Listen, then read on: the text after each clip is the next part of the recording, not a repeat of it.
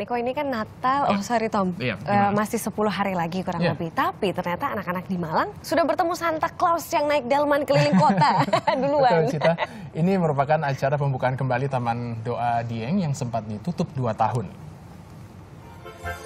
Sinterklas mengajak anak-anak keliling kota dengan naik delman hari Minggu kemarin. Kebahagiaan anak-anak terasa lengkap karena mereka bisa berkeliling ditemani keluarga. Sebelumnya, anak-anak juga berkesempatan berfoto dengan Sinterklas di halaman Emmanuel Revival Center, Taman Doa Bukit Dieng, Malang, Jawa Timur.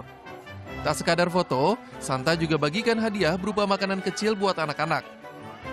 Selain dalam rangka jelang Natal, acara digelar dalam rangka pembukaan kembali Taman Doa Dieng yang sempat ditutup dua tahun karena renovasi. Kita tujukan acara ini banyak untuk anak-anak. Mereka bisa naik kuda bersama Santa. Mereka bisa menikmati berbagai permainan yang disediakan oleh panitia.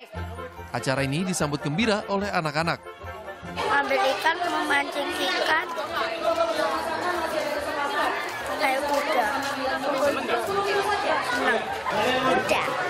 Sama siapa aja tadi?